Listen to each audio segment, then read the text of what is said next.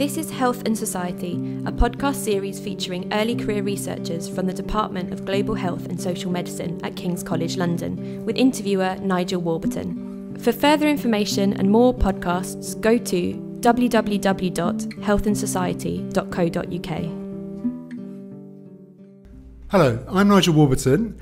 Joining me today is Hayley James, a Pensions Policy Institute and ESRC sponsored PhD student in the Department of Global Health and Social Medicine at King's College London.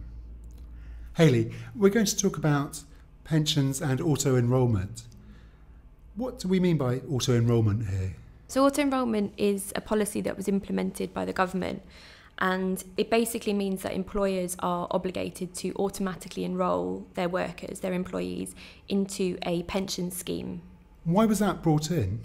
The main reason was that people weren't saving enough in terms of pensions. So, in the kind of 80s and 90s, the number of people who were participating in a pension scheme and the amount of money that people were contributing into those pension schemes was really reducing.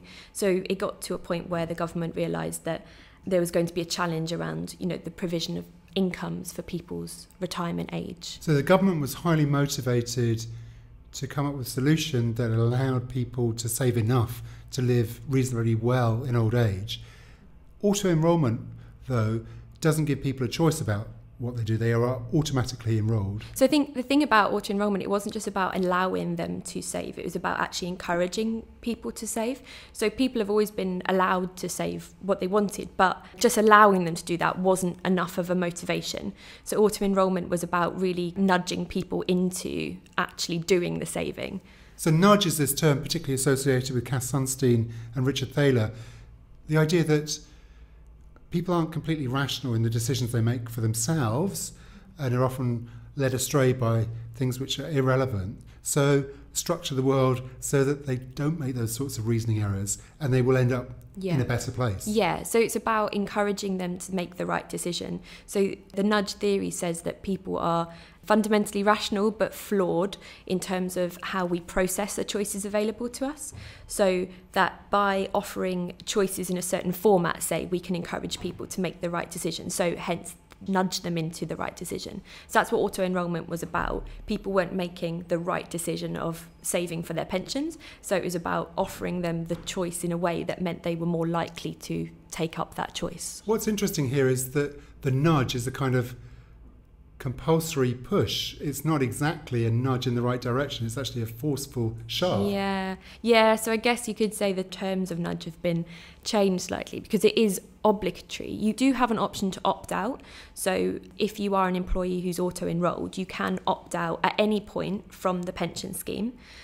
But it kind of relies on that most people, when it comes to making decisions or doing something, are quite inert. So there's a theory of inertia that says people are more inclined to do nothing than do something. So once you're auto enrolled in, you're less likely to opt out than you would be than if you were asked to opt in to start with. And a similar sort of reasoning has been used in relation to organ donation. If you make the assumption that everybody if they don't opt out, is prepared to donate their organs in yeah. the event of an accident or whatever, the result is you get more organ donation. If you give people the choice to opt in, yeah. then they have to make an effort to actually do it. And then there are fewer organs. So better to structure society on an opt out version. Yeah. I mean, lots of studies have shown how good it's been in terms of getting people into things like organ donation. I think it's been used in some health measures as well, kind of screening processes where you don't opt in, you kind of opt out. The difficult thing with pensions and auto enrolment is that it's not just about that one off decision. So with organ donation, once you're in, you're in the system, that's done. With auto enrolment, you kind of get pushed into it, but then it's not enough to just be in the pension system. Why not? If you are auto enrolled, you're at a minimum level of contribution, which totals 8%. And that is not going to be enough over the course of your lifetime to provide for like an adequate pension when you get to retirement age. That 8% is made up of your employee and employer contribution. That's the minimum level. But if you just pay on that, it's not going to generate enough. No, it's not going to be an adequate retirement. So that, that nudge wouldn't actually save you? It wouldn't get you very far. I mean, something's better than nothing, right? So if you save all your life at 8%, you still have something, but it's not going to provide for, an, for a very sufficient retirement then. So, what do you think the government's expecting to happen then? What's the assumption that's being made there about this nudge? Because they must have seen that the numbers don't add up. I think there's an assumption that once people start saving, they will start to see the benefit of pension saving. So, you know, by being in the system, being a participant, you start to receive more information. You realise that actually contributing a few percent from your salary isn't too bad, and you start to become much more engaged with the whole process. So I think there's still this kind of idea that yeah, once you're in, you'll kind of see the rational benefit of saving and continue with it. So it's almost a, a contradiction. You're saying that people aren't completely rational, so they have to be shoved in this direction with the auto enrolment. But once they're auto enrolled, they'll suddenly become rational again and see that it's good for them and make a huge donation and have a very substantial pension. So I know that the government's spoken about things like the culture of saving. So by getting in, we're developing more of a culture of saving. But I do think there's this, still this discrepancy between, you know, people are irrational, need a push, versus actually, you know, once you're in, you need to keep saving anyway. So I suppose it's an empirical question that's yet to be demonstrated whether or not people will increase their pension contributions in that system, given that it's a relatively new policy? Yeah, so in the UK, there's not much evidence yet. Um, I mean, the initial findings from auto enrolment is that the number of participants has jumped significantly, but most of them are making contributions at the minimum. So, average saving in pensions has come down since the introduction of auto enrolment. There are other countries, so the US, for example, they don't have auto enrolment at a, a national level, but individual companies are able to implement it as an into 401k plans, which are like the equivalent of a pension. And some of the evidence there shows that auto enrolment actually anchors people to a lower amount of saving.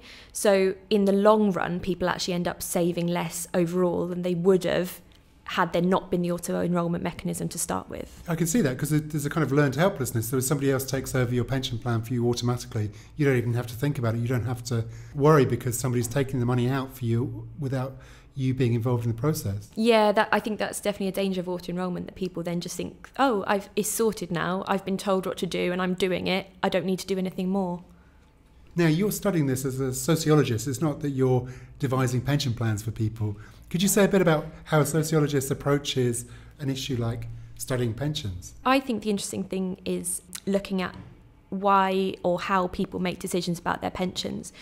The focus on auto enrolment has effectively taken away the question of what, what are people's actual motivations for pension studying? Because we've just started assuming that everyone's uh, you know rational but flawed and need this nudge. So what i'm trying to do is to kind of move past that assumption and really look properly at what are people's motivations or reasons for contributing to the pension. So that could be as varied as, you know, how do people think about their future? How do people think about growing old? Down to how do people manage their money practices in the day to day as they're making contributions and having to pay for a lot of other things as well.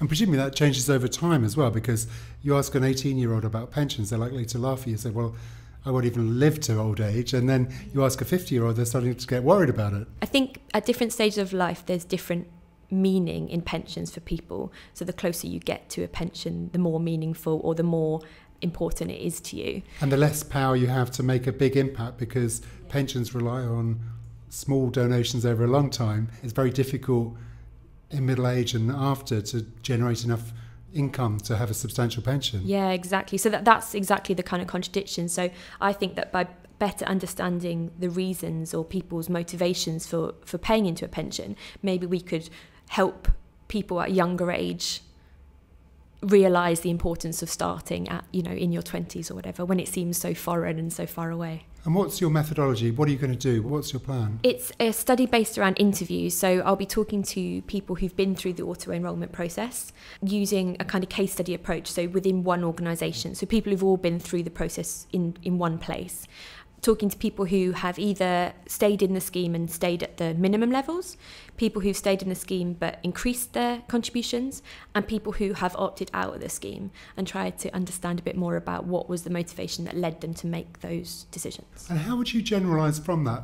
Because obviously, if you have a specific company, you have a, a certain sort of group of people who've made decisions about their future. Is there any sense that that might apply to people in a different context? Well, yes and no. There is an issue around context because one of the things what we, we don't know really is to what extent does what the employer do change how the policy is interpreted?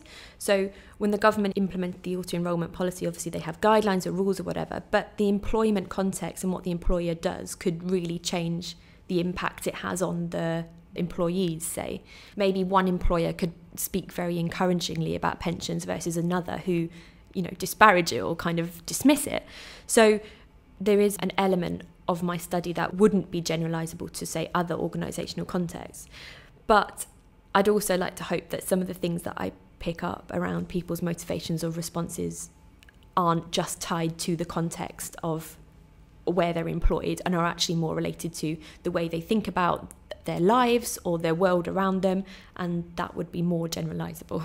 It's interesting because pensions open up all these philosophical questions, sociological questions about what we value, how we think about our future, how much provision we're prepared to make now for something that many of us feel isn't really going to happen. You know, am I really going to last to the age of 85? I can't really visualize that now for myself. And and they're all clustered around this issue. It's becoming even more pertinent with the extension of life expectancy pe- people now are the first people who can expect to live until they're 90. And if you expect to retire at, in your 60s, that's almost 30 years of post retirement age. It's a long period to have to think about and have to prepare for. So the, the decision is becoming much more heavily weighted in today's society. Obviously, you're an academic, you're studying this subject academically, but I could see there could be serious policy implications in what you do. Yeah, absolutely. And I am part sponsored by the Pensions Policy Institute, who are an educational charity who work on policy issues around pensions. And by working closely with them, I would really hope that my research would have some impact going forward. Hayley James, thank you very much. Thank you. Thank you for listening to Health and Society. This podcast series is sponsored by the Educational Fund and produced by Aidan Judd and Ellie Clifford. For further information and more podcasts, go to www.healthandsociety.co.uk.